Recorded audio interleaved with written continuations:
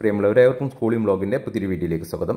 L B S B S C nursing അതുപോലെ തന്നെ പതിനൊന്ന് പാരാമെഡിക്കൽ കോഴ്സുകളിലേക്ക് അഡ്മിഷൻ ലഭിക്കാൻ വിദ്യാർത്ഥികൾ ഇപ്പോൾ വെബ്സൈറ്റ് വഴി ഓപ്ഷൻ നൽകണം. എങ്ങനെയാണ് നിങ്ങളുടെ മൊബൈലിൽ തന്നെ ഓപ്ഷൻ നൽകുന്നത് എന്നതിന്റെ ഡെമോ വീഡിയോ ആണിത്. ഓപ്ഷൻ രജിസ്ട്രേഷൻ ലാസ്റ്റ് ഡേറ്റ് പതിനഞ്ച് എട്ട് രണ്ടായിരത്തി ഇരുപത്തിനാലാണ്. ട്രയൽ അലോട്ട്മെന്റ് പതിനാറിന് വരുന്നതാണ്. മൊബൈലിൽ ഓപ്ഷൻ നൽകുന്ന വിദ്യാർത്ഥികൾ പ്രത്യേകം ശ്രദ്ധിക്കുക. നിങ്ങളുടെ മൊബൈലിലുള്ള ബ്രൗസർ ഏതാണോ നിങ്ങൾ യൂസ് ചെയ്യുന്ന ബ്രൗസർ അത് ഏറ്റവും പുതിയത് അപ്ഡേറ്റഡ് ആയിരിക്കണം. ആൻഡ്രോയിഡ് മൊബൈൽ ആണെങ്കിൽ പ്ലേ സ്റ്റോറിൽ കയറി നിങ്ങൾക്ക് അത് അപ്ഡേറ്റ് ചെയ്യാവുന്നതാണ്. അപ്ഡേറ്റഡ് വെർഷൻ അല്ലെങ്കിൽ സൈറ്റിലുള്ള എല്ലാ ഭാഗങ്ങളും നിങ്ങൾക്ക് മൊബൈലിൽ കാണാൻ സാധിച്ചില്ല എന്ന് വരും. എൽ ബി എസിന്റെ കൃത്യമായിട്ടുള്ള വെബ്സൈറ്റ് ലിങ്ക് താഴെ നൽകിയിട്ടുണ്ട്. വെബ്സൈറ്റിന്റെ ഹോം പേജിൽ മുകളിൽ ഇടതുവശത്ത് കാണുന്ന ത്രീ ലൈൻസിൽ ക്ലിക്ക് ചെയ്താൽ ലോഗിൻ എന്നൊരു ലിങ്ക് കാണാവുന്നതാണ്. അതിൽ പ്രസ് ചെയ്യുക. പിന്നീട് വരുന്ന പേജിൽ നിങ്ങളുടെ അപ്ലിക്കേഷൻ നമ്പർ നൽകി വെരിഫൈ എന്ന ഐക്കൺ പ്രസ് ചെയ്യുക. അടുത്ത പേജിൽ നിങ്ങളുടെ ആപ്ലിക്കേഷന്റെ തന്നെ രജിസ്ട്രേഷൻ ഐ ഡിയും പാസ്വേഡും നൽകി ലോഗിൻ ചെയ്യുക. ലോഗിൻ ചെയ്താൽ നിങ്ങളുടെ പ്രൊഫൈൽ പേജിലേക്ക് എത്തിച്ചേരുന്നതാണ്. പ്രൊഫൈൽ പേജിൽ താഴെയായി for trial allotment register option എന്നൊരു ലിങ്ക് കാണാവുന്നതാണ്. അതിൽ പ്രസ് ചെയ്യുക. അടുത്ത പേജിൽ വിദ്യാർത്ഥികൾക്കെല്ലാം ഓപ്ഷൻ നൽകാൻ സാധിക്കുന്ന കോളേജുകളും കോഴ്സുകളും കൃത്യമായിട്ട് നൽകിയിട്ടുണ്ടാവും. ഇവിടെ ഇടതുവശത്തായി കോഴ്സ് നഴ്സിംഗ് എന്നത് നൽകിയിട്ടുള്ളത് കാണാവുന്നതാണ്. മുകളിൽ നഴ്സിംഗ് ആണ് നൽകിയിട്ടുള്ളത്. താഴെയുള്ള ഭാഗത്താണ് മറ്റ് പാരാമെഡിക്കൽ കോഴ്സുകൾ വരുന്നത്. ആ കോഴ്സിന് എത്രയാണ് ഫീസ് വരുന്നത് എന്നുള്ളത് തൊട്ടടുത്ത് നൽകിയിട്ടുണ്ട്. ഗവൺമെന്റ് കോളേജിൽ വിവിധ കോഴ്സുകൾക്ക് ഇരുപത്തി മൂവായിരം നാലായിരം രൂപയാണ് ഒരു വർഷത്തേക്ക് ഫീസ് വരിക. എന്നാൽ സെൽഫ് ഫിനാൻസ് കോളേജിലാണ് എങ്കിൽ ഒരു വർഷത്തേക്ക് ഏകദേശം ഒരു ലക്ഷത്തോളം തന്നെ ഫീസ് വരുന്നതാണ്. എന്നാൽ ഗവൺമെന്റ് കോളേജ് ആയാലും സെൽഫ് ഫിനാൻസ് കോളേജ് ആയാലും S C S T O E C Hindu O B സിയിൽ വരുന്ന ഒ ഇ സിക്ക് തുല്യമായിട്ട് സ്കോളർഷിപ്പുകളൊക്കെ ലഭിക്കുന്ന മുപ്പതോളം കാസ്റ്റ് വിഭാഗങ്ങളുണ്ട്. അതുപോലെ തന്നെ ഫിഷർമെൻ രജിസ്ട്രേഷൻ ഉള്ളവരുടെ മക്കൾ. ഇവർക്കെല്ലാം ഗവൺമെന്റ് കോളേജിൽ ലഭിച്ചാലും സെൽഫ് ഫിനാൻസ് കോളേജിൽ ലഭിച്ചാലും ആയിരം രൂപ മാത്രമാണ് ഫീസ് വരിക. ഇവിടെ നാലാമതായി ടൈപ്പ് എന്നതിന്റെ താഴെ ജി ഒ വി എന്ന് നൽകിയിട്ടുണ്ട്. അത് ഗവൺമെന്റ് കോളേജാണ്. ചില സ്ഥലത്ത് ജി സി എസ് എന്ന് നൽകിയിട്ടുണ്ടാകും അത് ഗവൺമെന്റ് കൺട്രോൾഡ് സെൽഫ് ഫിനാൻസ് കോളേജാണ്. അതായത് അവിടെയും വലിയ ഫീസ് തന്നെയാണ് വരിക.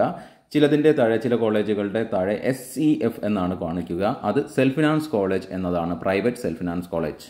പിന്നെ ഇവിടെ സ്പെഷ്യൽ റിസർവേഷൻ കോട്ട എന്ന കോളത്തിന്റെ താഴെയായിട്ട് R P C C X S D K എന്നൊക്കെ നൽകിയതായിട്ട് കാണാവുന്നതാണ്.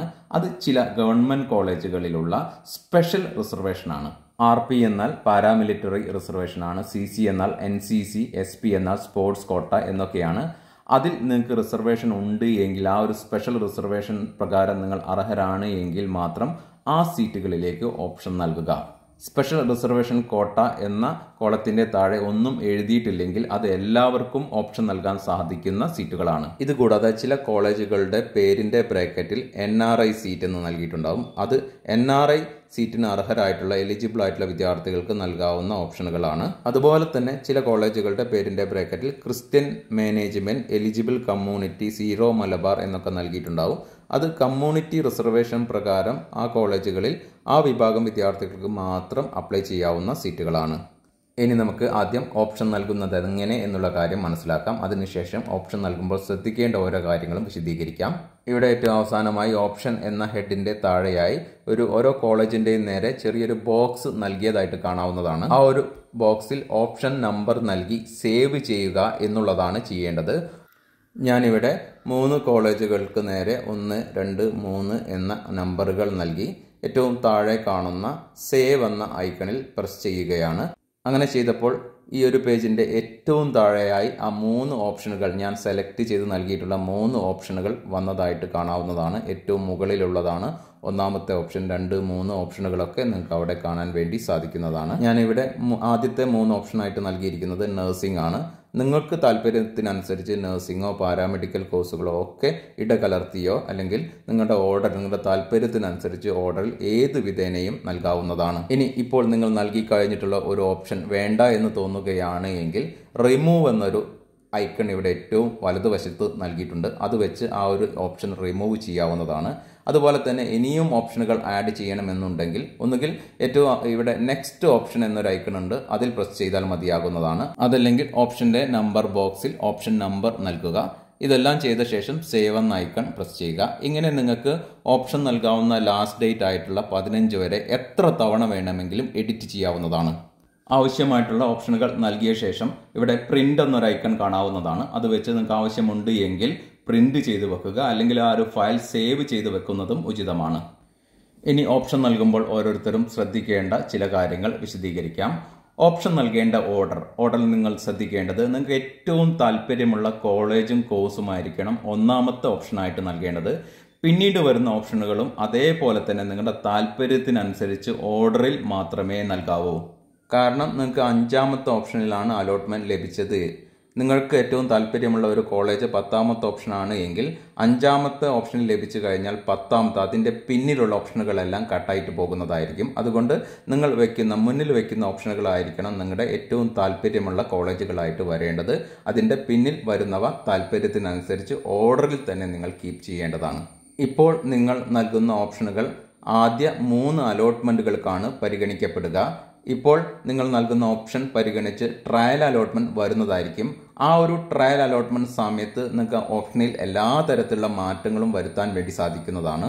പുതിയ ഓപ്ഷൻ നൽകാം പഴയത് ഡിലീറ്റ് ചെയ്യാം നൽകിയിട്ടുള്ള ഓപ്ഷന്റെ സ്ഥാനവും മാറ്റാൻ വേണ്ടി സാധിക്കുന്നതാണ്. എന്നാൽ ഫസ്റ്റ് സെക്കൻഡ് തേർഡ് അലോട്ട്മെന്റിന്റെ ഇടയ്ക്ക് നിങ്ങൾക്ക് പുതിയ ഓപ്ഷൻ ഒന്നും നൽകാൻ വേണ്ടി സാധിക്കുന്നതല്ല. നൽകിയിട്ടുള്ള ഓപ്ഷനിൽ ആവശ്യമില്ലാത്തവ ഉണ്ട് എങ്കിൽ ഡിലീറ്റ് ചെയ്യാൻ വേണ്ടി മാത്രമേ സാധിക്കുകയുള്ളൂ. ഇനി നിങ്ങൾ നൽകിക്കഴിഞ്ഞ ഓപ്ഷൻ എത്ര തവണ വേണമെങ്കിലും എഡിറ്റ് ചെയ്യാം എന്നുള്ള കാര്യം പറഞ്ഞതാണ്. ഇനി റാങ്ക് കുറഞ്ഞവർ ശ്രദ്ധിക്കേണ്ട കാര്യം എന്തൊക്കെ എന്നുള്ള കാര്യം നോക്കാം. റാങ്ക് കുറവുള്ളവർ പരമാവധി കോളേജുകളിൽ ഓപ്ഷൻ നൽകുക എന്നുള്ളതാണ് ശ്രദ്ധിക്കേണ്ടത്.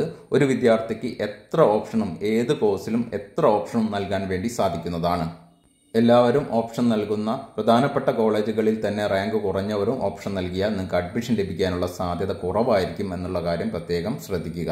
ഇനി സെൽഫ് ഫിനാൻസിൽ ഓപ്ഷൻ നൽകുമ്പോൾ ശ്രദ്ധിക്കേണ്ട കാര്യങ്ങൾ എന്തൊക്കെയെന്ന് നോക്കാം. സെൽഫ് ഫിനാൻസ് കോളേജിൽ ഒരു വർഷത്തേക്ക് ഒരു ലക്ഷത്തോളം രൂപ വ്യത്യസ്ത കോഴ്സുകൾക്ക് ഫീസ് വരുന്നതാണ്. ആ ഒരു ഫീസ് നൽകി നിങ്ങൾ പഠിക്കാൻ തയ്യാറാണ് എങ്കിൽ മാത്രം നിങ്ങൾ ഓപ്ഷൻ നൽകുക. അല്ലാത്ത വിദ്യാർത്ഥികൾ സെൽഫ് ഫിനാൻസ് കോളേജുകൾ ഒഴിവാക്കുന്നതായിരിക്കും ഉചിതം. കാരണം നിങ്ങൾക്ക് ഫസ്റ്റ് അലോട്ട്മെന്റിലോ സെക്കൻഡ് അലോട്ട്മെന്റിലോ അതിൽ ലഭിച്ചാൽ നിങ്ങൾ ഇരുപത്തയ്യായിരം രൂപ ടോക്കൺ ഫീ പേയ്മെന്റ് നടത്തേണ്ടതാണ്. അങ്ങനെ നിങ്ങൾ നടത്തിയിട്ടില്ല എങ്കിൽ പിന്നീടുള്ള അലോട്ട്മെന്റുകളിലേക്ക് നിങ്ങളെ പരിഗണിക്കുന്നതല്ല. കോളേജിൽ ഏകദേശം അഡ്മിഷൻ നൽകേണ്ട ഫീസാണിത് ഇതിന്റെ പുറമെ നിങ്ങൾക്ക് ഹോസ്റ്റൽ ഫീസ് ബുക്സ് യൂണിഫോം ഇതിലേക്കെല്ലാം ചിലവ് വേറെയും വരുന്നതാണ്. അതുകൊണ്ട് സാമ്പത്തികമായിട്ട് സാധിക്കുന്നവർ മാത്രം സെൽഫ് ഫിനാൻസ് കോളേജ് ഓപ്റ്റ് ചെയ്യുന്നതായിരിക്കും ഉചിതം. ആദ്യ മൂന്ന് അലോട്ട്മെന്റുകൾ കഴിഞ്ഞാൽ പിന്നീട് വരുന്നതാണ് സ്പെഷ്യൽ സ്പോട്ട് അലോട്ട്മെന്റ്. ആ ഒരു അലോട്ട്മെന്റിലേക്ക് നിങ്ങൾ ഇപ്പോൾ നൽകുന്ന ഓപ്ഷനുകൾ ഒന്നും പരിഗണിക്കുന്നതല്ല. ആ ഒരു ഘട്ടത്തിൽ നിങ്ങൾ പുതിയതായിട്ട് ഓപ്ഷൻ നൽകേണ്ടി വരുന്നതാണ്. കഴിഞ്ഞ വർഷം പത്തിലധികം സ്പെഷ്യൽ സ്പോട്ട് അലോട്ട്മെന്റുകൾ വന്നിരുന്നു. എല്ലാ വിഭാഗം വിദ്യാർത്ഥികൾക്കും അതിലും പാർട്ടിസിപ്പേറ്റ് ചെയ്യാൻ വേണ്ടി സാധിക്കുന്നതാണ്. അതായത് അഡ്മിഷൻ ലഭിക്കാത്ത വിദ്യാർത്ഥികളും അതുപോലെ തന്നെ അഡ്മിഷൻ ലഭിച്ച ഏതെങ്കിലും കോളേജിൽ ജോയിൻ ചെയ്ത വിദ്യാർത്ഥികൾക്കും പുതിയ ഓപ്ഷൻ നൽകി അതിലേക്ക് പാർട്ടിസിപ്പേറ്റ് ചെയ്യാൻ വേണ്ടി സാധിക്കുന്നതാണ്. അഡ്മിഷൻ ലഭിച്ച വിദ്യാർത്ഥികൾക്ക് അവർക്ക് കൂടുതൽ താല്പര്യമുള്ള കോളേജുകളിലേക്ക് ഓപ്ഷൻ നൽകാവുന്നതാണ്. പക്ഷേ അഡ്മിഷൻ ലഭിച്ച വിദ്യാർത്ഥികൾക്ക് പുതിയ കോളേജുകളിലേക്ക് ഓപ്ഷൻ നൽകണമെങ്കിൽ അഡ്മിഷൻ എടുത്ത കോളേജിൽ നിന്ന് ഒരു സർട്ടിഫിക്കറ്റ് നോ ഒബ്ജക്ഷൻ സർട്ടിഫിക്കറ്റ് ലഭിക്കേണ്ടതുണ്ട്. അത് വെബ്സൈറ്റിൽ അപ്ലോഡ് ചെയ്ത് നൽകേണ്ടതാണ്. ഇതുമായെല്ലാം ബന്ധപ്പെട്ട കൃത്യമായിട്ടുള്ള ഡീറ്റെയിൽസുകൾ പിന്നീട് അപ്ഡേറ്റ് ചെയ്യപ്പെടുന്നതായിരിക്കും. പിന്നെ മറ്റൊരു കാര്യം ഫസ്റ്റ് അലോട്ട്മെന്റിലോ സെക്കൻഡ് അലോട്ട്മെന്റിലോ ലഭിച്ച് ടോക്കൺ ഫീ പേയ്മെന്റ് നടത്താതെ പുറത്തായി പോകുന്ന വിദ്യാർത്ഥികളുണ്ടാവും. അത്തരം വിദ്യാർത്ഥികൾക്കും സ്പെഷ്യൽ സ്പോട്ട് അലോട്ട്മെന്റിൽ പുതിയ ഓപ്ഷൻ നൽകി പാർട്ടിസിപ്പേറ്റ് ചെയ്യാൻ വേണ്ടി സാധിക്കുന്നതാണ്. ഇനി ഫസ്റ്റ് ഓപ്ഷൻ സെൽഫ് ഫിനാൻസ് കോളേജിൽ നൽകിയാൽ. സാധാരണ ഇങ്ങനെ നൽകുന്നത് ഉചിതമല്ല. കാരണം എല്ലാവർക്കും നല്ലത് ഗവൺമെന്റ് കോളേജുകളിൽ പഠിക്കുക എന്നുള്ളതാണ്. ഇങ്ങനെ first option self finance college നൽകിയാൽ അതിലേക്ക് നിങ്ങൾക്ക് അലോട്ട്മെന്റ് ലഭിക്കുകയാണ് എങ്കിൽ അതിന്റെ പിന്നിൽ നിങ്ങൾ നൽകിയിട്ടുള്ള ഗവൺമെന്റ് കോളേജുകൾ പരിഗണിക്കപ്പെടുന്നതല്ല. അതിലേക്ക് നിങ്ങൾക്ക് അഡ്മിഷൻ ലഭിക്കുന്നതല്ല. ഈ വർഷത്തെ L B S B S C nursing മറ്റ് പാരാമെഡിക്കൽ അഡ്മിഷനുമായെല്ലാം ബന്ധപ്പെട്ട കൃത്യമായിട്ടുള്ള ഡീറ്റെയിൽസുകളും അപ്ഡേഷനുകളും ഈ ഒരു ചാനൽ വഴി ലഭിക്കുന്നതാണ്. വീഡിയോ അവസാനിപ്പിക്കുന്നു. നന്ദി നമസ്കാരം.